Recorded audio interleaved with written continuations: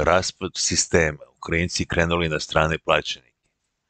Vojnici oružanih snaga Ukrajine i strani plaćenici sukobljavaju se zbog boljeg snabdevanja ovih drugih. Izjavio je za novosti stari instruktor s pozivom Ždakom Beton. Bio je slučaj da nam je jedan ukrajinski vojnik čak ispričao da su imali sukob sa plaćenicima iz Poljske, jer njima sve šalju kao humanitarnu pomoć, oni su opremljeni dok ukrajinski vojnik sedi bez ičega. Oni sede u jednom rovu, dok ukrajinski vojnici u drugom i oni imaju sve, a Ukrajinci nemaju ništa. Prema njegovim rečima, osim niskog nivoa snabdevanja, vojnici oruženih snaga Ukrajine su mnogo lošije obučeni. Njega, ukrajinskog vojnika, mobilisali su juče, a ove sedi na prvoj liniji i ratuje protiv mene. A kad su mene mobilisali, prošao sam obuku u trajanju dva meseca i tek onda stigao ovde na treću liniju odbrane.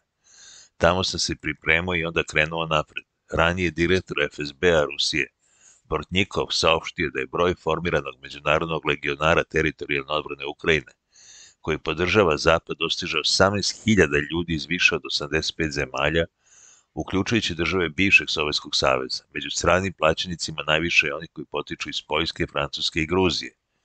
Ministarstvo odbrane Rusije saopštilo da je tokom specijalne vojne operacije u Ukrajinu stiglo više od 10.000 stranih plaćenika kako bi učestvovali u borbama na strani kijevskog režima.